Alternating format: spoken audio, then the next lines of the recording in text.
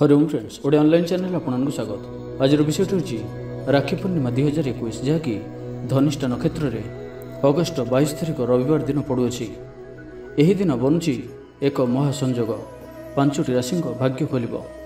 ଏକ ମହାସଂଯୋଗ ବନିବାର ଅଛି ଯେଉଁଥିପାଇଁ ଚମକି ଉଠିବ ଏହି ପାଞ୍ଚଟି ଜାତକଙ୍କର ଭାଗ୍ୟ। ମା ଲକ୍ଷ୍ମୀଙ୍କର ବିଶେଷ କୃପା ଏମାନଙ୍କୁ ପ୍ରାପ୍ତ ହେବ। ବାଇଶ ଅଗଷ୍ଟ ଦୁଇ ହଜାର ଏକୋଇଶ ରବିବାର ଦିନ ଏହି ଥର ରାକ୍ଷୀ ପୂର୍ଣ୍ଣିମାର ଦିନ ଏକ ପ୍ରମୁଖ ମହାସଂଯୋଗ ସୃଷ୍ଟି ହେଉଅଛି ଯାହାକି ଯାହାକି ଜ୍ୟୋତିଷ ଆଚାର୍ଯ୍ୟମାନଙ୍କ ଅନୁସାରେ ଏହା ମହାଲକ୍ଷ୍ମୀ ଯୋଗ ଅଟେ।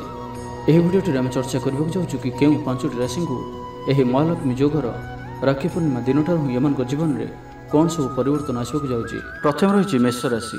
ଏମାନଙ୍କ ଜୀବନରେ ବହୁତ ବଡ଼ ପରିବର୍ତ୍ତନ ଦେଖିବାକୁ ମିଳିବ। ଆପଣ ଯେଉଁ କାର୍ଯ୍ୟ ବି ମନ ଲଗାଇ କରିବେ ସେଥିରେ ଆପଣଙ୍କୁ ସଫଳତା ଅବଶ୍ୟ ପ୍ରାପ୍ତ ହେବ। ଆପଣ ଆପଣଙ୍କ ଜୀବନରେ ଦ୍ରୁତଗତିରେ ପ୍ରଗତିଶୀଳ ରହିବେ। ଓ ଏହି ରାଶି ଥିବା ବ୍ୟକ୍ତିଙ୍କ ପାଇଁ ଧନର ଦେବୀ ମା ଲକ୍ଷ୍ମୀଙ୍କ କୃପା ଦୃଷ୍ଟି ନିରନ୍ତର ରହିବ।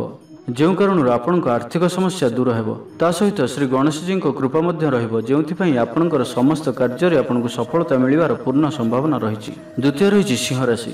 ସିଂହ ରାଶି ବ୍ୟକ୍ତିଙ୍କ ପାଇଁ ଆପଣଙ୍କ ଜୀବନରେ କିଛି କଠିନ ସମସ୍ୟା ଆସିପାରେ କିନ୍ତୁ ଆପଣ ଏହି ସମସ୍ୟାକୁ ଅତି ସରଳତାର ସହିତ ସମାଧାନ କରିପାରିବେ ଜବ୍ କରୁଥିବା ବ୍ୟକ୍ତିଙ୍କ ପାଇଁ ପଦୋନ୍ନତି ହେବାର ପୂର୍ଣ୍ଣ ସମ୍ଭାବନା ରହିଛି। ଆୟରେ ବୃଦ୍ଧି ରହିବ।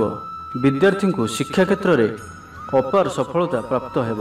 ସମାଜରେ ଆପଣଙ୍କ ମାନ ସମ୍ମାନ ବଢ଼ିବ। ଘର ଓ ପରିବାରରେ ଖୁସିର ବାତାବରଣ ରହିବ। ଶ୍ରୀ ଗଣେଶ ଓ ମାତା ଲକ୍ଷ୍ମୀଙ୍କ କୃପା ଆପଣଙ୍କ ଉପରେ ନିରନ୍ତର ରହିବ। ଯେଉଁଥିପାଇଁ ଆପଣଙ୍କୁ ଆପଣଙ୍କ ଭାଗ୍ୟର ସମ୍ପୂର୍ଣ୍ଣ ସହଯୋଗ ମିଳିବ। ତୃତୀୟ ରହିଛି କନ୍ୟା ରାଶି। ଏମାନଙ୍କର ଆଗକୁ ଆସିବାକୁ ଥିବା ସମୟ ବହୁତ ହିଁ ଖାସ୍ ରହିବାର ଅଛି। ଆପଣ ଆପଣଙ୍କ କାର୍ଯ୍ୟକ୍ଷେତ୍ରରେ ଦ୍ରୁତଗତିରେ ଉନ୍ନତି କରିବେ। ଧନ ସମ୍ବନ୍ଧୀୟ କୌଣସି ପ୍ରକାର ସମସ୍ୟା ରହିବ ନାହିଁ। କାରଣ ଧନର ଦେବୀ ମା ଲକ୍ଷ୍ମୀଙ୍କର ଆପଣଙ୍କ ଉପରେ ଆଶୀର୍ବାଦ ରହିବ। ସମାଜରେ ଆପଣଙ୍କର ମାନ ସମ୍ମାନ ଓ ପ୍ରତିଷ୍ଠାରେ ବୃଦ୍ଧି ହେବ। ଆପଣ କୌଣସି ପ୍ରତିଷ୍ଠିତ ବ୍ୟକ୍ତିଙ୍କଠାରୁ ସମ୍ମାନିତ ହୋଇପାରନ୍ତି। ଦାମ୍ପତ୍ୟ ଜୀବନ ଆପଣଙ୍କର ସୁଖମୟ ରହିବ। ଚତୁର୍ଥ ରହିଛନ୍ତି ତୁଳାରାଶି।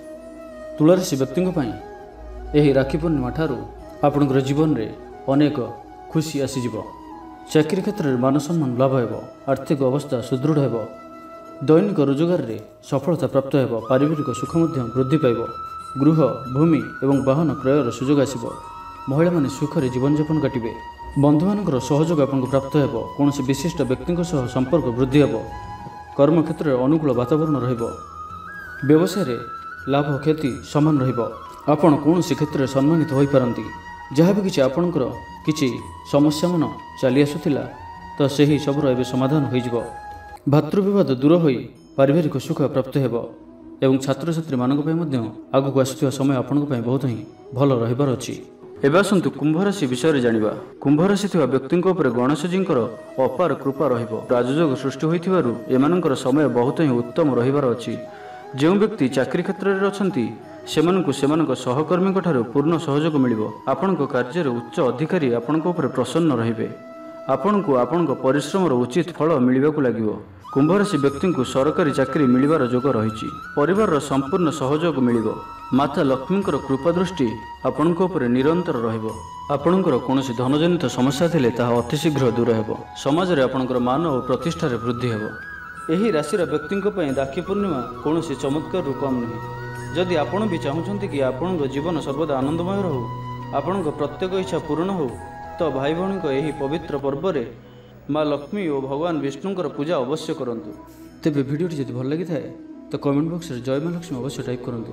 ଭିଡ଼ିଓଟିକୁ ଗୋଟେ ଲାଇକ୍ କରନ୍ତୁ ଏବଂ ଆମ ଚ୍ୟାନେଲକୁ ସବସ୍କ୍ରାଇବ୍ କରିବା ସହିତ ପାଖରେ ଥିବା ବେଲ୍ ଆଇକନ୍କୁ ମଧ୍ୟ ପ୍ରେସ୍ କରନ୍ତୁ। ଯାହାଫଳରେ ଆମେ ଯେଉଁ ଭିଡ଼ିଓ ଅପଲୋଡ଼ କରିବୁ ତାହା ଆପଣ ସର୍ବପ୍ରଥମେ ପାଇପାରିବେ। ଧନ୍ୟବାଦ।